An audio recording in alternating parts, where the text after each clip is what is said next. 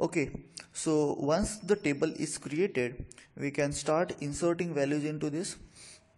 So the syntax for inserting a values into table is insert into then a table name values then we have to specify a list of values optionally after table name we can specify a list of columns for which we need to specify values so let's say column 1 column 2 if we specify the columns then each individual value will refer to that column.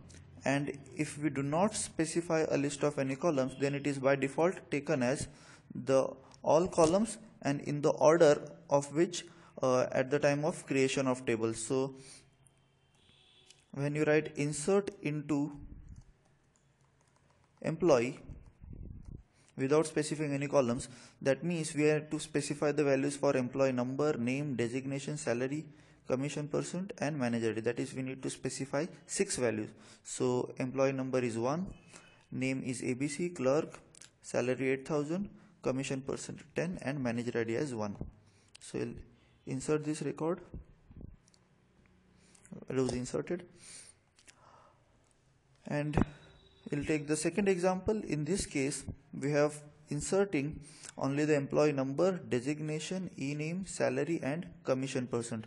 In this case we are not specifying the manager id so here we specify only five values. We'll insert this. So let's see the result of the table. Yes. What happens actually when we do not specify any column into the insert statement then that column gets the default value. So in this case while inserting into manager id we have not specified manager id so it gets the default value as null. Similar thing we can do. Let's say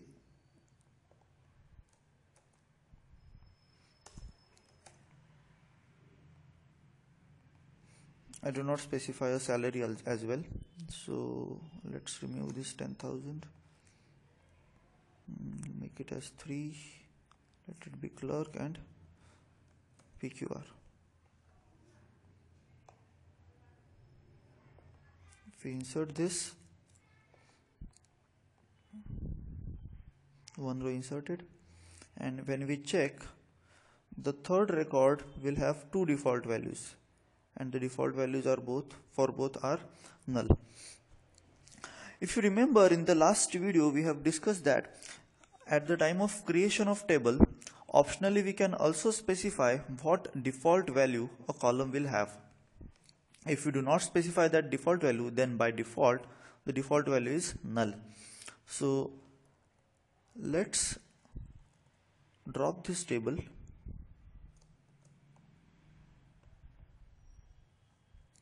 and at the time of creation of new table I will specify for manager ID the default value as minus 1 and let's say for salary the default value as 15000 so what does this mean is that whenever at the time of insertion if we do not specify a value for this column instead of taking null as a default value it will take the default value as 15000 and in case of manager id the default value will be minus 1 so let's create this table. And we'll have the same three insert statements but this time here for both last two records the manager id will be minus 1 and for the last one the salary will be 15000